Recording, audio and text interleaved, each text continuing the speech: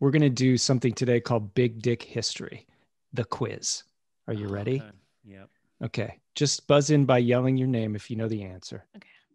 Number one What historical figures Swang and Wang was described by a Time magazine journalist in 1927 as a quote, maltreated strip of buckskin shoelace? Wait a minute. Can I hear the question again? Sure.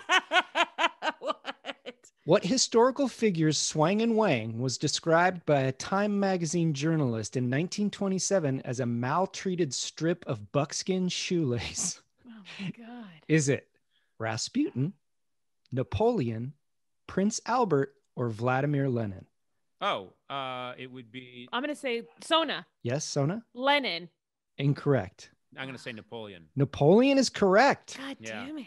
All right, one point. They uh, they actually claim to have Napoleon's penis. So That's right. The others would not be available for inspection, whereas I think Napoleon's would be. My understanding is it's actually at like a bookseller's. Keep in mind, a lot of this research is rumor based, but for our purposes, who cares? Uh, you know, it's not only owned Napoleon's penis by a bookseller. Did you know this?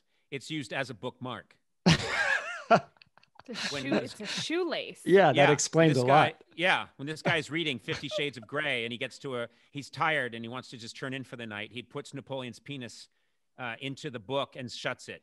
Oh Yeah, after he uses it to floss his teeth. Okay, next Ah! question. What did, oh, what did you do? Gourley. That? What? Gourley, what did you do? Come that? on. Yeah, how can You're- you go too far on happening? big dick history? Well, you know what? You can, and you just did. Yeah, Well, you did. It's an Yeah, achievement. Using a dick as floss.